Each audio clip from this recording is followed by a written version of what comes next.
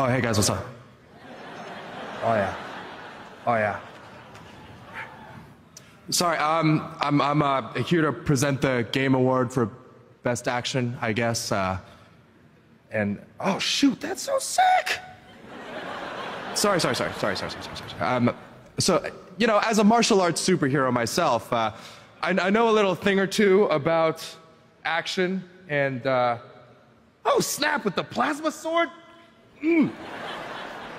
Sorry, sorry. Um, where was I?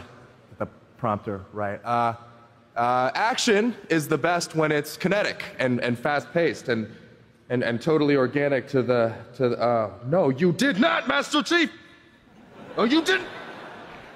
Sorry, guys. Look, you guys know that Halo just came out, right?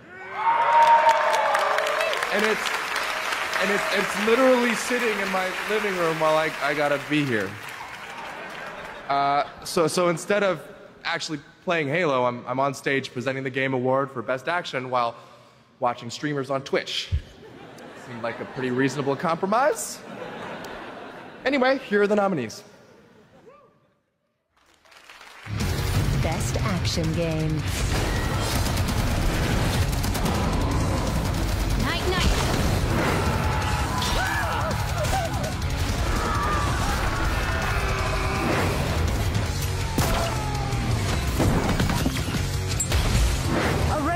Revolution is not won by the fearless. Is won by the feared.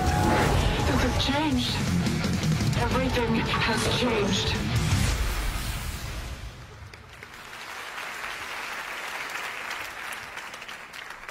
Sorry, sorry, sorry. Um, and the Game Award for Best Action Game goes to Returnal.